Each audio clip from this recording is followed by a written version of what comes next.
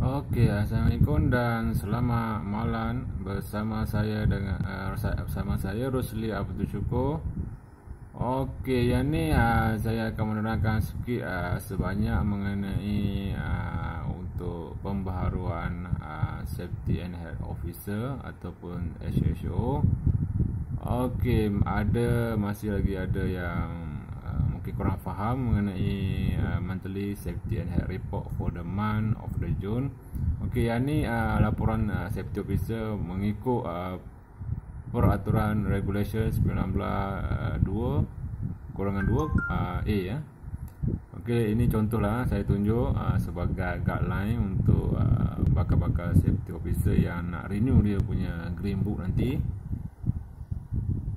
Okay, nombor satu compliant with the OSH legal and others requirement.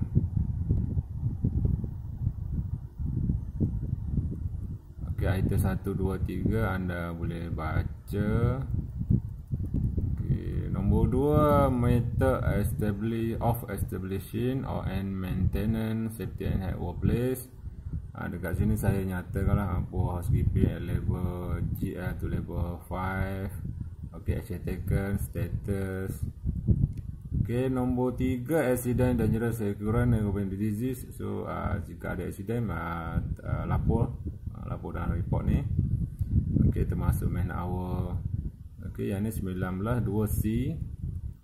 Okey, nombor empat, machinery, plant, equipment, appliance, substance. Yang ni, uh, 19, 2D. Contoh dia. Lima, uh, any machinery equipment appliance substance or PPE required for the purpose uh, of minimizing any surcharge risk. KE. Enam, recommendation any alteration structure layout or purpose saya tak ada saya tulis nil.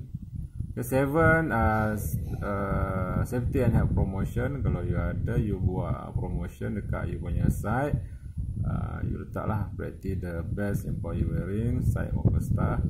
Nombor 8 uh, outstanding matter from the previous report. Ada isu-isu yang berbangkit so you masukkan nombor item nombor 8 ok nombor 9 last ini ada safety and health matter so you masuklah.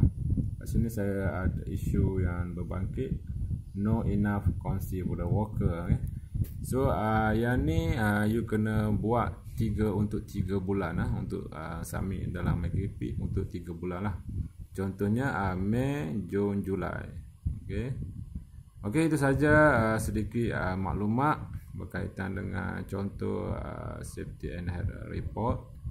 Okay yang wajib disubmit uh, untuk mendapatkan uh, renewal green book. Okay itu saja daripada saya Rusli bin Adil Syukur. Sekian terima kasih.